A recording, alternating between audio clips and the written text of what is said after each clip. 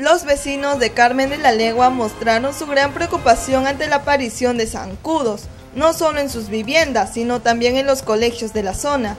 Ante este problema, el municipio realizó la fumigación correspondiente en la cuadra 1 del Girón Miguel Grau. Sin embargo, la situación sigue siendo preocupante. Todo en verano, ahora se ha adelantado más bien, estamos en mes de noviembre y hay zancudo, antes había en mes de enero y por el río seguro que no hay este agua. Así en las paredes, bastante sacudo y en los árboles. Bueno, que debe haber un planteamiento de salubridad, que vengan a fumigar, lo que le concierne al, al municipio ¿no? y al mismo estado.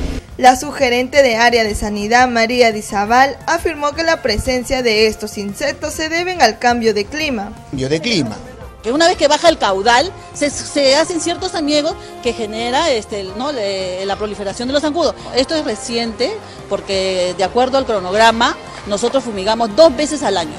La aparición de estos mosquitos también afectaron a un colegio de la zona.